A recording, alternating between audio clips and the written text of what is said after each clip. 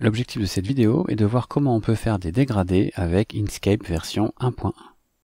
Donc là, je vais superposer à cette forme-là une autre forme avec un dégradé. Donc je vais sélectionner la forme et je vais faire bouton droit,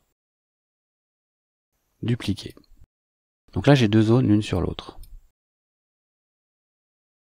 Sur celle du dessus, je vais prendre l'outil dégradé. Je vais sélectionner un dégradé radial et je vais dessiner le dégradé à l'intérieur. Ensuite, pour gérer les couleurs de chaque point du dégradé, je vais faire F12 pour afficher mes fenêtres. Et il faut que la fenêtre des fonds et contours soit active. Donc là, elle est ici. Ensuite, une fois que la fenêtre est ouverte, je suis bien en dégradé radial, je prends le premier point et je vais y mettre du noir, donc c'est 0 partout complètement transparent. Donc dans opacité, ici, je vais mettre 0. Je prends l'autre bout de mon dégradé, radial, même chose, je mets du noir. Cette fois-ci, je vais mettre une opacité à 50. Donc vous voyez qu'ici, ça part de tout transparent, et plus je me rapproche de l'autre point, plus le noir va être opaque. Vous pouvez bien sûr, en tirant sur les poignets, comme ça, changer la tête de votre dégradé radial.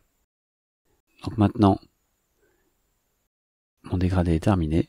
Si je rappuie sur la petite icône, je peux le modifier. Je peux aussi ajouter des stops ici avec le plus et le moins. Ça veut dire que si vous voulez mettre une autre couleur entre les deux ici, vous pouvez, il suffit de faire plus et de double-cliquer sur le dégradé. Donc sur ce point-là, je peux de nouveau mettre un noir et pourquoi pas, là il a fait 25% d'opacité, puisque entre 0 ici et 50 ici, il a pris la moitié, c'est-à-dire à peu près 25. Là il a mis 24,7. Donc ce point-là, bien sûr, hein, je pourrais lui changer sa couleur.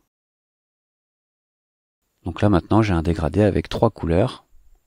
Noir, bleu, noir. Et donc là mes stops, je les retrouve ici.